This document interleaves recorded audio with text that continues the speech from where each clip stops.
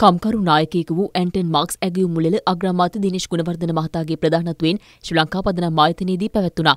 Anton Marx මහතාගේ කම්කරු ජීවිතය සිදුවී මලලා සම්පාදනය කළ සීමා මායිම් නැති මානවවාදී කෘතිය ජනගත කිරීමද මෙහිදී සිදු වුණා.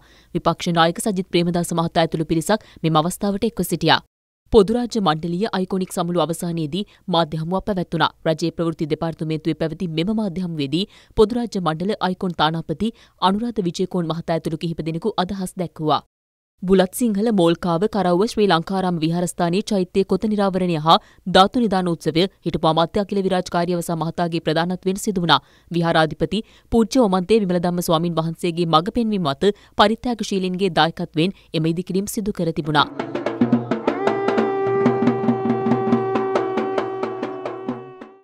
නිරතුරුව වෙනස් වන පරිසර තත්වයකදී නායකත්වයේ මුහුණ දෙන අභියෝගයන මැයින් පුද්ගල සංවර්ධන වැඩසටහනක් මීගමුවේදී පැවැත්වුණා. මීගමුව ද මැනේජ්මන්ට් ක්ලබ් එය සංවිධානය කර තිබූ අතර ප්‍රධාන දේශනය පැවැත්වුවේ කමල් ගීගනගේ මහතයි. ආරාධිතයන්ගේ සාකච්ඡාවක්ද මීට සමගාමීව සංවිධානය කර තිබුණා.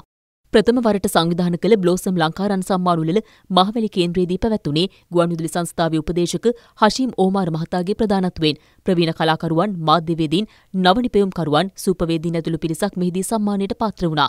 කැබිති ගොල්ලෑව ප්‍රාදේශීය ලේකම් කොට්ටාශයේ පාසල්වල ඉගෙනුම ලබන සිසු සිසුවියන් අපද්‍රව්‍ය භාවිතයෙන් කළ නව නිර්මාණ 85ක් ප්‍රදර්ශනයට එක් කර තිබුණා. කැපිති ගොල්ලෑව නගරයේ පැවති මෙම ප්‍රදර්ශනයේ නැරඹීමට විශාල පිරිසක් එක්ව සිටියා.